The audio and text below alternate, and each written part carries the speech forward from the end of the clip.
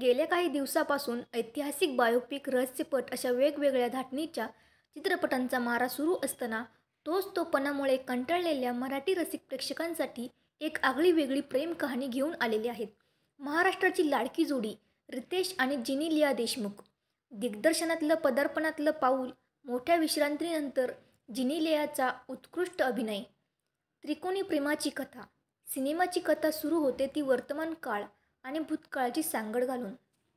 प्रियसीवर वेड्यासारखं प्रेम करणाऱ्या सत्याचं क्रि क्रिकेटवरही तेवढंच प्रेम असतं. मात्र त्याच्या आयुष्यात असं काही घडतं की तो या दोन्ही गोष्टींपासून लांब जातो. नंतरच्या त्याच्या आयुष्यात फक्त दोन गोष्टी असतात. एक म्हणजे व्यसन आणि दुसरं म्हणजे त्याला जीवापाड प्रेम करणारी त्याची बायको श्रावणी.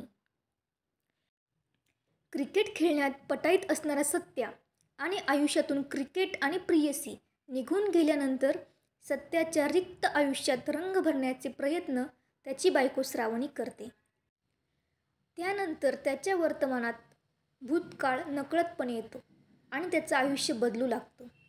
या बदललेल्या आयुष्याशी तडजोड करताना सत्याचे अनेक पैलू समोर येतात. भूतकाळातील गोष्टीमुळे वर्तमान काळापासून लांब पडणारा सत्या रितेश देशमुखने अचूक साकारलाय. तर नवऱ्याच्या व्यसनापेक्षा त्याचा त्रास सुटावा अशी भाबडी आशा ठेवून जगात जगत असलेली प्रेमभुळी बायको जिनी लियाने तिच्या अभिनयातून अचूक साकारली आहे.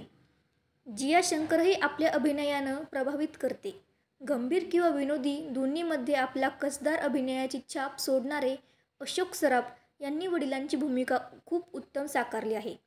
तर गंभीर वातावरण विनोद निर्मिती करणारे विद्याधर जोशींनी त्यांची भूमिका अतिशय साधेपणाने केली आहे.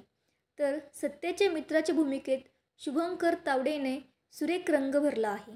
तर या सिनेमाचं सरप्राईज म्हणजे छोटा पॅकेट बडा धमाका अर्थात बालकलाकार खुशी हजारे हिने हट्टी पण प्रेमळ मुलगी चोख वठवली आहे तर रविराज कॅडेनने रंगवलेला खलनायक लक्षात राहण्याजोगा आहे. चित्रपटाचे कॅमेरा वर्क ही अतिशय उत्तम आहे. ज्यांचं तुमच्यावर प्रेमच नाही त्याच्यावर प्रेम करण्याचं दुखणं तुम्हाला कळणार नाही. असं प्राजक्ता देशमुखने लिहिलेलं प्रेमपूर्ण संवाद प्रेक्षकांना आता कथकांसोबत जुळण्यात मदत करतायत.